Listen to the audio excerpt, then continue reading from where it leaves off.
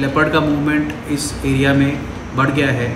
लोगों से मेरा निवेदन है, आह्वान है कि वो रात को अकेले बाहर ना जाएँ। अगर बाहर जाते हैं किसी कारणवश तो अकेले ना जाएँ, कुछ एक ग्रुप बना के बाहर जाएँ।